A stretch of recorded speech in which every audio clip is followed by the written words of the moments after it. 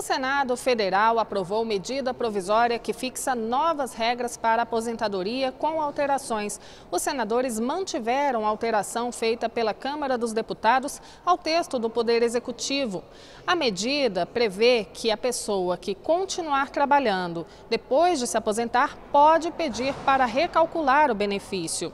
A medida provisória aprovada também mantém a fórmula para aposentadorias e o cálculo passa a ser feito pela regra que ficou conhecida como 8595.